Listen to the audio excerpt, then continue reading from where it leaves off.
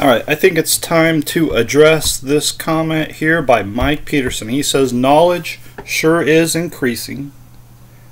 We find out more and more that everything we thought to be true has been inverted, subverted, outright a lie. A timeline would be automatically high pri priority to mess with. I forget the reason, but I looked the year 40, 1492. Look at the list of calendars. Alright, so let's go look at the list of calendars. Not sure. Alright, so I might have to do that do it this way here. I'm not sure. Oh, the list of calendars. There we go. We got the Gregorian calendar, the Abrbacundita, I'm not going to be able to say these words. I have enough trouble saying English words. But, okay. Um, am I missing something? Yeah, so I'm not sure that uh, I would be able to make sense or, you know, sort of process a thought regarding all these. Um, you know, uh, I just don't know. 1492 in various calendars. So my guess is 1492 is um, is the year. So 2245 would be the equivalent of 1492. All right, so Assyrian calendar 6242. Boy, oh boy, oh boy, oh boy. So I'm not sure that I would be able to make any. There's the Julian calendar. That's 1492. So I'm yes, it's interesting for sure. Why, are, you know, what are all these dates based on? And of course, the Gregorian calendar is based on the fact that Jesus Christ was born of a virgin, and that's that marks the year zero.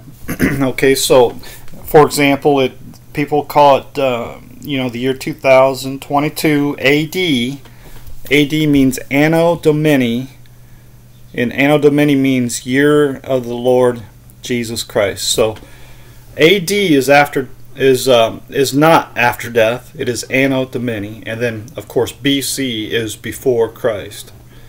So, um, of course, people that hate the Lord Jesus Christ are going to change AD to CE, Common Era, and then they'll change BC before Christ to BCE before Common Era.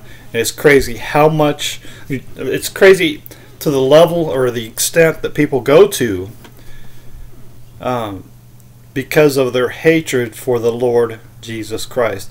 So this all this calendar stuff is interesting, no question about it. I'm just not to the point where I'm able to conclusively put anything together, but I do appreciate um, you sharing this stuff. 1492. Isn't it 1492? Is that one? Yeah. Uh, so I think uh, it was assumed that Christopher Columbus came to America, but it turns out he didn't. Right? Turns out he he missed it. He went down Central America, I think, or something like that. So, anyways, is there anything else here that uh, of significance?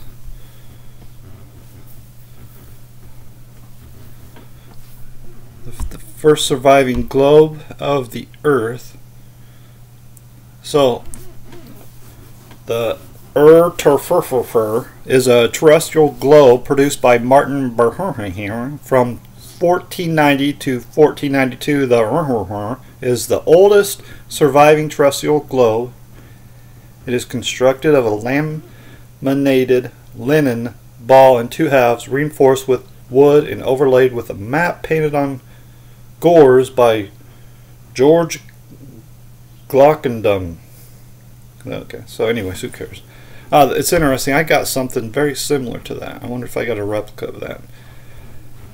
But uh, regardless, right there, it's by. If you go by this as the gospel truth, this is the oldest Earth, and that the oldest globe, Earth, is 500 years old. That right there is conclusive evidence, conclusive proof that all the people with Jesus, they all believed the earth was flat. And Abraham and his children all believed the earth was flat. And Adam and Eve believed the earth was flat. Noah, they all believed the earth was flat. It was not until this map or globe, whatever, came along. So anyway, it's interesting. Yeah, I'm telling you, uh, it's fishy. At the very least, it's very fishy. Very fishy.